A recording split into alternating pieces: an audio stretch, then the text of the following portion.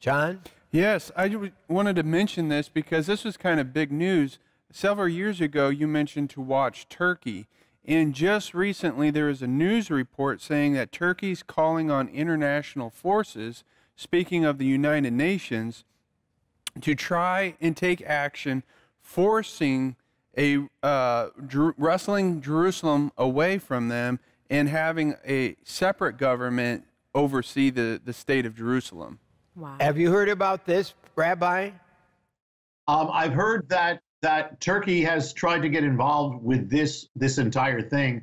Turkey has become radicalized, and Turkey is which which once had okay relations for an Arab country or a Muslim country uh, has become radicalized against Israel. Um, so they've been coming in in the midst of this. Um, the the uh, leader of Turkey is trying to, to basically become the leader of the Islamic world.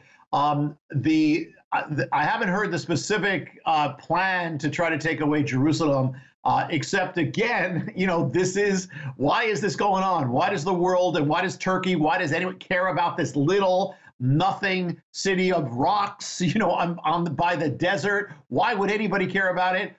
It doesn't make any sense at all, but it does because it is spiritual. Uh, God said that the nations are going to try to move Jerusalem. How do you move a city? You know, they're not going to, you got to move it. It's you move the borders. So that's exactly what Turkey's trying to do. It's exactly what the United Nations is trying to do. It's exactly what the enemy's trying to do because we, we spoke about it last program that here Jerusalem is the center of all uh, the prophecies of God, the, the, the, the purposes of God are all there. Listen, we were born again because of Jerusalem. Because Jesus died in Jerusalem, he rose in Jerusalem, the Holy Spirit came on Jerusalem, and he's coming back to Jerusalem, and he's coming back to the Temple Mount. And that's why all the spotlight is there because the enemy will do anything he can to stop this from happening. Get the Jewish people out of Jerusalem. Jesus, Yeshua, Messiah cannot come back.